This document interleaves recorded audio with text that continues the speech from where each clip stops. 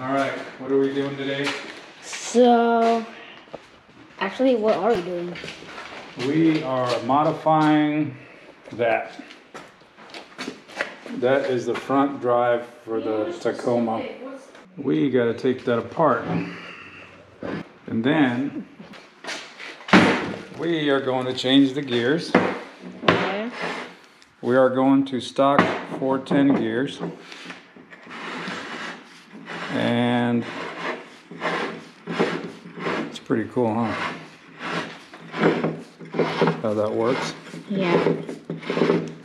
And then we're putting a thing called limited slip. An Eaton Truetrac. Did you hear that? Eaton Truetrac. No idea what that is. You know how much that is? It I'd costs say- six hundred dollars.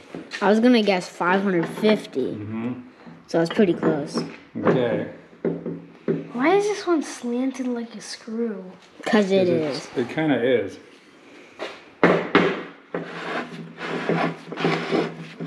It turns that gear, Natural. and that turns the, the wheels. It's like your RC truck. You know what it does? What? Let's look at your RC truck. Here's what it does. Okay, regular differential does this.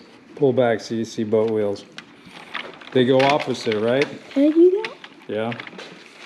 Okay, when you add one of those parts in there, the $600 part, you get more of this effect. Look, they both sort of turn together.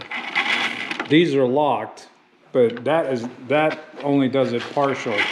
But you still kind of get a close to that effect when you're in the mud or the sand. It's gonna be loud for a moment. No, no, no, not yet. Go. Ready? Yep. All good? Yep. No, not yet. It's gonna. Can't hear you. I gotta let, okay, wait. I gotta wait for the air compressor to pump up. Okay. It was empty. Okay, Don't do that next time. Oh, I'm my face.